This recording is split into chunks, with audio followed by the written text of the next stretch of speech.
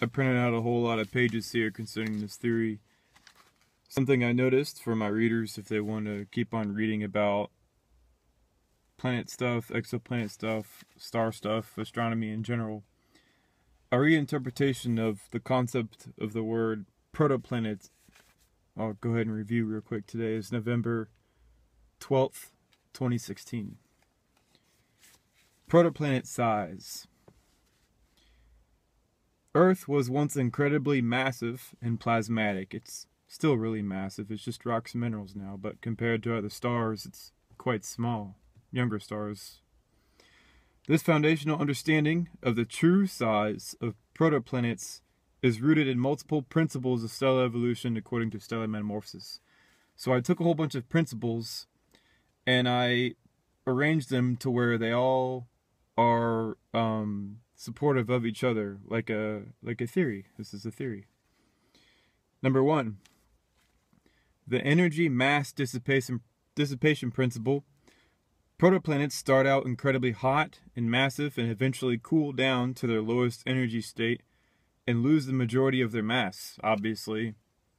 Earth is a lot less energetic and a lot less massive than the Sun. This means protoplanets are in no way rocky or metal objects that have only fractions of the masses of small moons.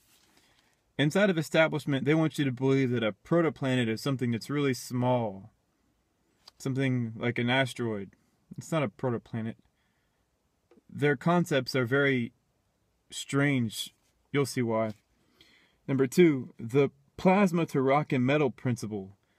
It says here protoplanets start out as plasmatic material, which are stars, then become cool, dense, and rocky metal stars. Rock and metal. Number three, foundational structure principle. This means that any object that has a differentiated interior, like the Earth, was a much larger object in its past, and places the possibility that impact remains many dwarf planets, and planets can be classified by an internal physical understanding other than orbits or current size. Basically, it, takes away the power of mathematicians to classify things based off of where they are in an orbit or their current size. I don't think that's good science. Separating these objects by their size completely ignores the fact that they were once much, much larger.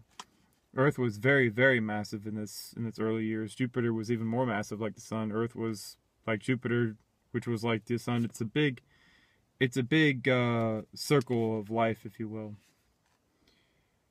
But to say you can classify them based off of where they are in orbit, an orbit is random.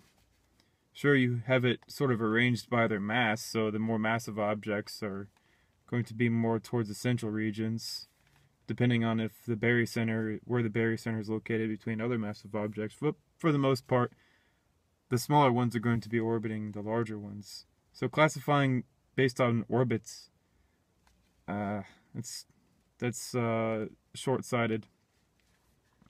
And number four, the accretion principle. Only objects with large surface areas and gravitational fields can accrete matter.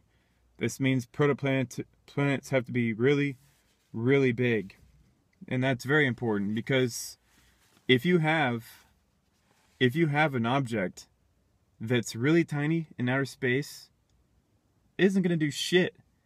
It would be like I don't know, shooting a bullet into the into the air. It's not going to hit anything. It's just going to straight through the air. Cuz space is mostly vacuum. There's nothing there. So to say this tiny little thing can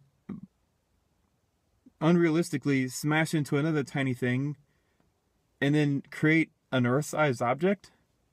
No, the, the the likelihood of that happening is essentially zero. You got to think of it in terms of if you're gonna bring matter together in outer space, you have to have a really big object. It has to have a huge gravitational field and surface area or else it's not gonna it's not gonna grab any material to collect into its center. It, you need you need a huge gravitational field to accrete matter. It it just doesn't. Oh well, you have all these uh, separate objects by the billions, and all of a sudden they move towards the center by some magical force. No, it doesn't work because you have to have the gravitational field there to begin with, or else they don't know where to go. They're just going to be floating like a big cloud. That's what an asteroid field is. Asteroid fields don't self assemble. That's ridiculous. That's why I put number four, the accretion principle. You have to have something with a huge gravitational field and a huge surface area to grab material as it moves through outer space. If you have a little tiny rock, it's not going to do anything. It's just going to fly by whatever it is it's supposed supposed to have accreted with. And even if it does chance hit another object, it's going to smash apart. It's going to make even smaller stones and pieces of metal. But that's protoplanet size. When you read these articles uh, and you see the word protoplanet, know for a fact that these astronomers have no clue what they're talking about. A protoplanet is something that's huge. And you see protoplanets at night when there are no clouds in the sky. They're, they're called stars for some reason. That's those young those are young planets. They're really, really hot.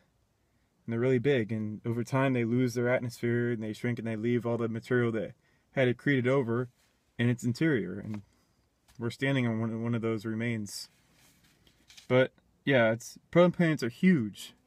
They're not these tiny little things. Uh, that's another thing where establishment has it, you know, wrong. Obviously.